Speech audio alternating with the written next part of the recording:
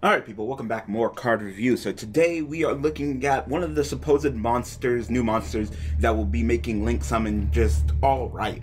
So with that, there's no way we can't talk about this guy. Today we are looking at Link Slayer. I, I apologize about the art, that, that's the best art we have.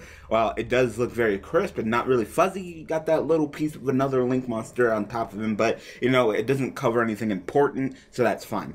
Anyway, Link Slayer is an Earth Cyber, so Link already starting out great. Earth for some of the Link monsters like Missus Radiant, and Cyberse as well for your Honeybot. So he's a little bit of both worlds for the Link monsters we have right now.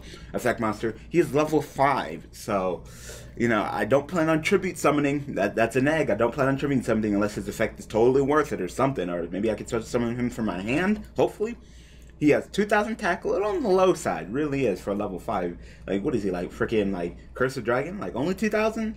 And 600 defense. Oh my god, I actually said a defense on a card? Oh my god, it's been like weeks. It really has been.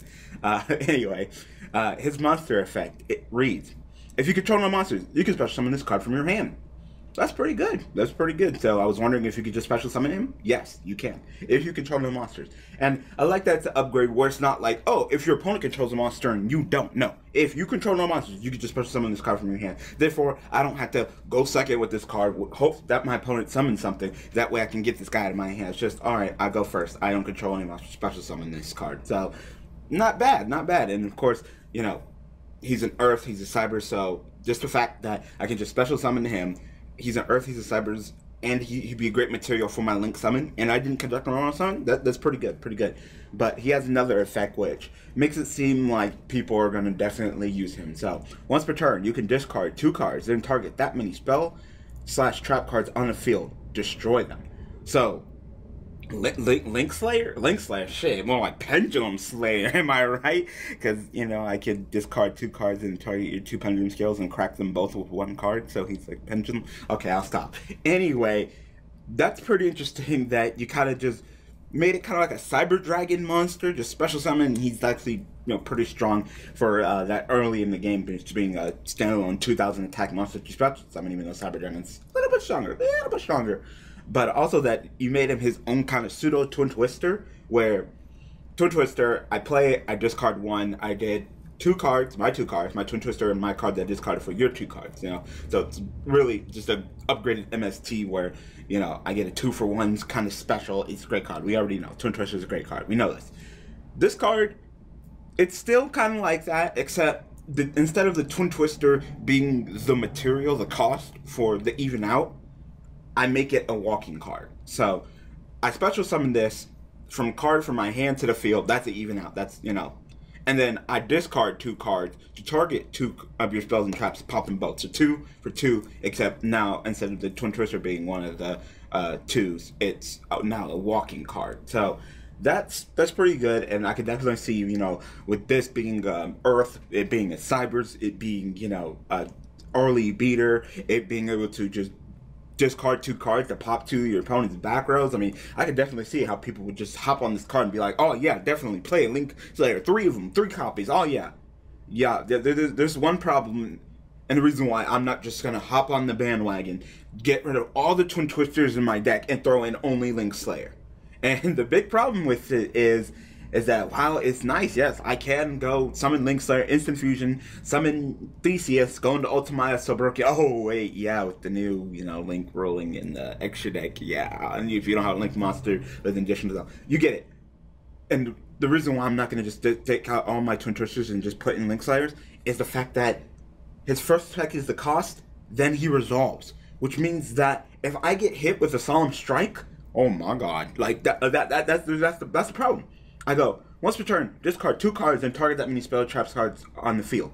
Semicolon. Destroy them. Therefore, that means that if I go summon Link Slayer, I you activate my effect, pay my cost of discarding two cards, target my spell two spell trap cards, and you go strike. I'm dead. I don't pop the two cards that I targeted, and not only did I lose my Link Slayer, but I also lost two cards as well. So I just went neg three on that shit. While all you did was just use your strike. So you went plus two of, on me because I fucked up, you know, because I decided to use Link Slayer over Twin Twister, you know. So that that's my gripe. That's my gripe. Now, if they made it so, you know, I targeted the cards. I just, you know, that was the cost that my targeting, and then I discarded and did my resolving and popping or whatever.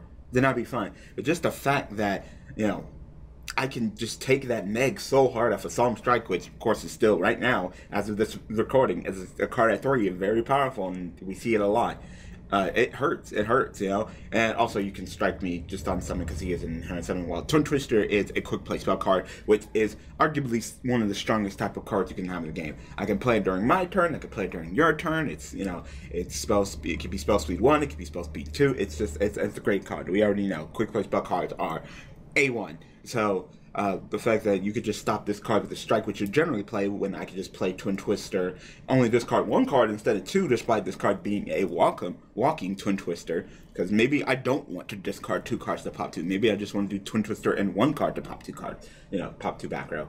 Uh, I don't know. I don't know. And I, I just think that I'm going to be sticking with Twin Twister over Link Slayer. No offense to Link Slayer. Now, if you're playing a Link uh, Cyberse as mon- uh, deck, then yeah, sure, more power to you. But if I'm playing just an Earth deck, I, am not going to throw him in there. If I'm throwing him in just for you know popping back row, I'd rather just play Twin Twister. So unless you're playing a Cyberse deck, a pure Cyberse deck, and you you know you're trying to be Yusaku, I wouldn't really touch Link Slayer. I would just do my own thing without him and just play Twin Twister over him that's my opinion of Link Slayer. you know, some people are thinking that he's the end all be all, best thing ever. You know, definitely play three. I'm like, nah, I'll, I'll stick over here with Twin Twister. All right. So tell me what you guys think about Link Slayer in the comment section below. So I hope that you guys enjoyed this card review. So thanks for watching. Thanks for all the support. And I will see you guys on Wednesday with another card looking at we're looking at yet another monster that's supposedly going to really help the Link summoning mechanic. So alright people, thanks for watching.